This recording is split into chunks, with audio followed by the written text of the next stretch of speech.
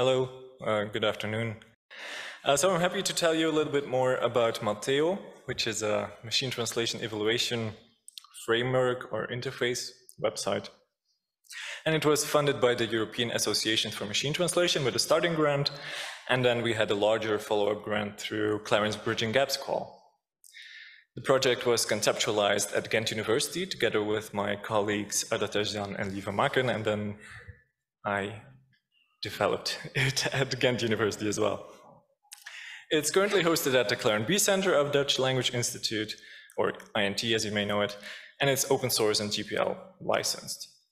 So that's quite broadly the metadata about the project, but what is it really? What are we doing? What do we want to do? We want to have a simple to use framework or interface where we can evaluate machine translations, but that is also usable or useful for experts. So basically what we want to do is get an idea of how good MT systems are on your own data. So the idea is you get output from your MT system, MT translations, and you want to compare those to reference translations that you have. So the idea is if, if you have, if the translation is close to a human translation, then it's probably a good translation. Um, yeah, so in Mateo we have implemented six metrics, and we make the distinction between surface level ones and neural ones. The surface level ones, probably the most well-known one, is Bleu, that you may have heard of, uh, that has been mentioned before at this conference. And there are the main ideas. How well does the DMT overlap in terms of tokens or words or sequences of words? Then translation edit rate is a bit more intuitive. Uh, how many words do I have to insert or delete to end up with the correct translation? And then chrF is similar to Bleu, but then on the character level. So if you want to have a broad interpretation of the term, you could call this more morphological than the other ones. Then in terms of neural metrics, um, as you know, when BERT came around, it was revolutionary in many sense, senses.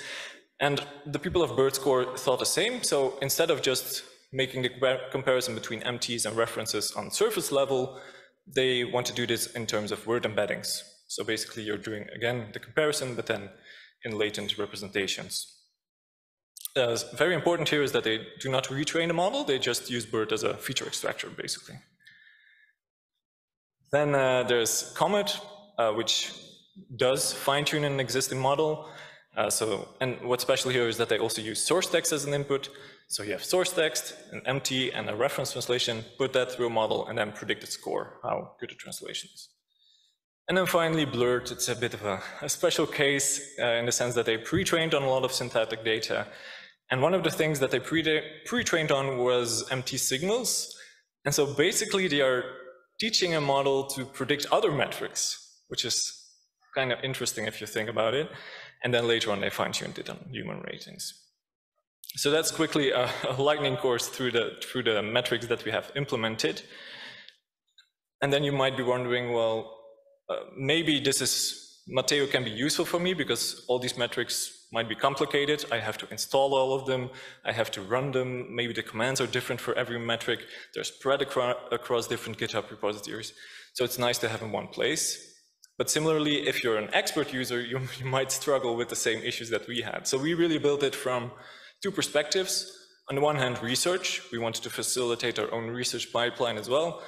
And then for teaching, we wanted to have something that was easy to use, that people could get started with, with machine translation as well.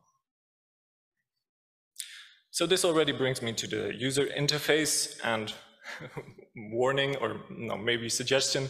Uh, I have the demo running at the bazaar as well, so I highly recommend that you come visit me there because now I'll, I'll just show you, show you a few screenshots which don't tell you perhaps as much. So we have a, a, few pages. The main page is basically the meta information that I, I, talked about before. And then we have a background information page. So something that I really wanted to avoid was to create a tool and people start using it, but they forget what they're actually doing. What I wanted is that people learn something while helping them, basically. And so on this page, you get a bit of more information about each metric, you get a reference to the paper, the implementation, exactly the stuff that we use, just so that people can have a look at it and learn something. For each metric also the, as I said, implementation that we use and which languages are supported. Then on a, again, a secondary page, uh, we also visualize edit distance. This is more for educational reasons as well. So you can upload your corpus or your sentences and then look at basically what I mentioned about TER earlier, right? Insertions, deletions, substitutions. Then you can visualize that. Um, so in, in color highlighting, you see what the differences are. Again, this is not groundbreaking or anything, but from an educational perspective, this is something that students really seem to like. Then we're getting closer to the evaluation. Um, so something, again, that we noticed during our classes was that when we asked the students to do an assignment, they default to Google Translate or DeepL, commercial closed source systems. And we thought, well, wouldn't it be great if we offered an other perspective? And so uh, Jörg um, mentioned the no language left behind model, and indeed there are models of uh, 54 million, billion parameters, but of course that's not feasible within our server, so we have a, smaller version of this model running, just so that students, but or anyone really, can generate some translations, baseline translations. And so if you look at screenshots, you can select a language, you can upload your data, push a button, and you're done and you get your translations. And then finally, so this will be multiple slides, we come at the evaluation part. Um, yeah, it should be an, an, animation, but we'll go step by step. So we start at the bottom left. So first you have the metric selection screen, and it's very basic in itself. You just select the metric that you want to have, and you're done. And it should be as easy as that. But if you're more of an expert user, you can click open the dialog, and then at the top right, you see all the options that you can choose from that you're probably used to as an expert user. You want to use a different tokenizer, you want to change the n-gram size, you can do whatever you want that you would normally be able to do. And this is a, an, something that's often left out in tools that exist or existed before. As I said before, what I want to avoid is that people just use the tool and don't learn anything new.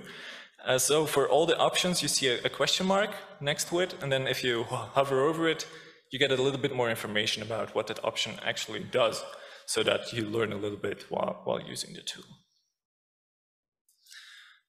So that was that already, so quite easy, I think, or I hope.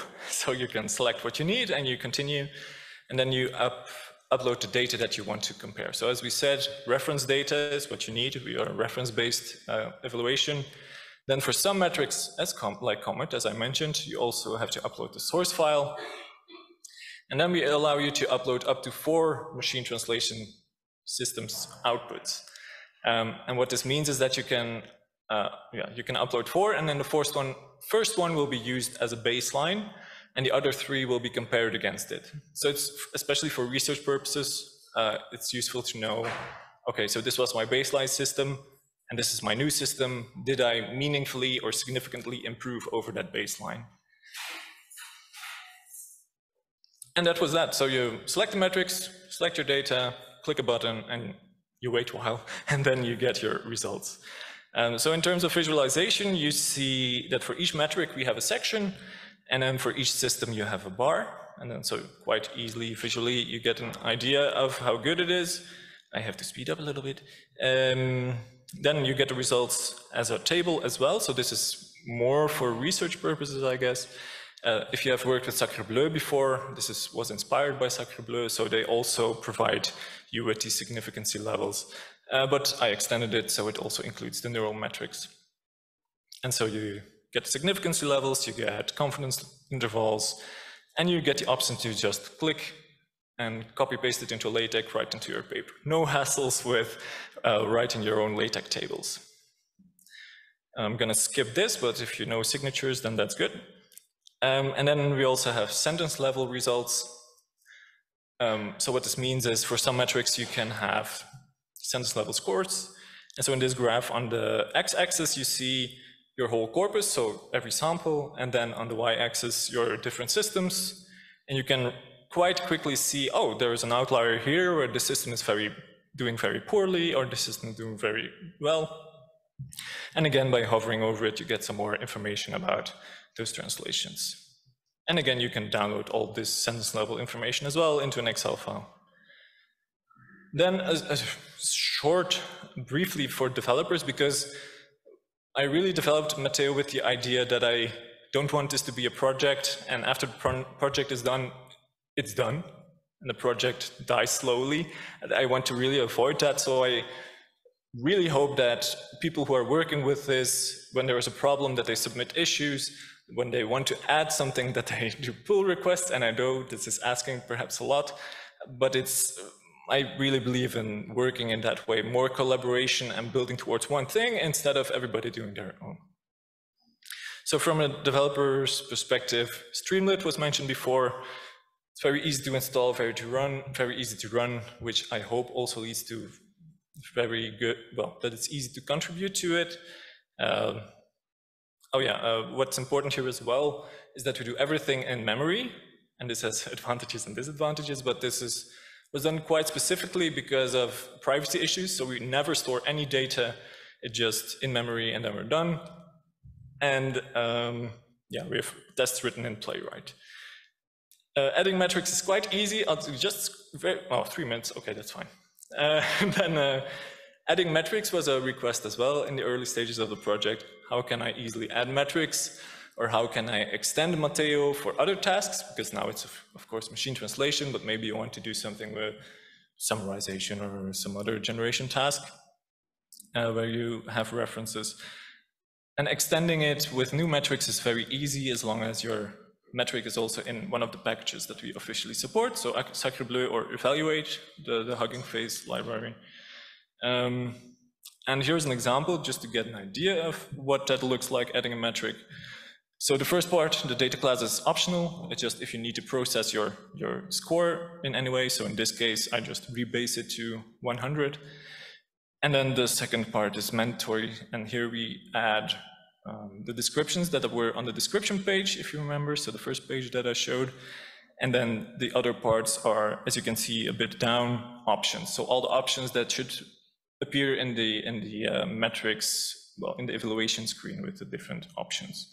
So everything should be defined in one place. When that's done, you're done. It's very super easy. In this case, I've implemented Comet with around 30 lines. So that's what I really want to work towards, that it's very easy for people to add new things so that the project doesn't die too quickly. How can you use it? Scan the QR code, go on the INT website, it's also running on Hugging Face Spaces, so it's very easy for you to just duplicate it and run your own instance if you want to. And you can host it quite easily through Docker or Python if you're uh, more familiar with that. And with that, again, I would like to invite you to my stand at the Bazaar. And if there are any questions, I'm happy to answer them. Thank you for this. It seems uh, particularly useful for educational settings. And um, my question stems also from an educational uh, standpoint. Um, since you presented evaluation methods, how about human error annotation, especially for students in translation, this may be useful. Do you plan to implement this or just the What do you mean then? So for them, the option to annotate data for them, so that they can annotate data, or what do you mean exactly? Yes, in translation, there are several error yeah. annotation frameworks in terms of quality so that mm -hmm. they could also manually annotate. Ah, yeah. yeah. Uh, that's not planned, and that's also quite complex from a development point of view, I fear. Uh, so that's not in the pipeline. So this is really focused on automatic evaluation. What we would like to do, but again, the project has finished, so I can dedicate my personal time to it, but um, what's something that's planned is reference-less no, sorry, this is not planned, but I would like to do it. Um, so reference-less evaluation would be also great to have. So if you are interested in something like that and you're like, oh, um, I can spend a week on this and I'm a good programmer, let's do it, please get in touch so we can collaborate on this. Okay, I have a question. You said it was very easy to um, add additional um, metrics under the condition that they are available under a different package so if I would want to implement the Rouge metric, for instance, which is sometimes used in summarization, um, would you then, well, is it included in the other yeah. package? Okay, so then, then it's easy to. to Yeah, so that's, of course, well, I can talk about this for a long time, but, um, so my, I, I know the, the people from Hugging Face a little bit, and so I started a project with porting a lot of MT metrics into Evaluate. And so I put a lot of work in that, and then earlier this year, they said, well, we're not gonna maintain Evaluate too much anymore. And so for me, this was quite devastating, because I had put all this work into porting everything to, into Evaluate. Uh, so uh, Yes, to come back to your question, if it's an evaluate, it will be super easy. If it's not an evaluate, it will be difficult, uh, to be honest. And so that's also one of the reasons that I attempted to start my own re-implementation of a whole framework for evaluation, but that was just not feasible. Uh, So yeah, I don't really have a solution, I fear. It's, it, I really depend on external frameworks, and that's probably something you should try to avoid. That's a lesson learned from me, because when they say, well, we don't maintain it anymore, you're kind of screwed.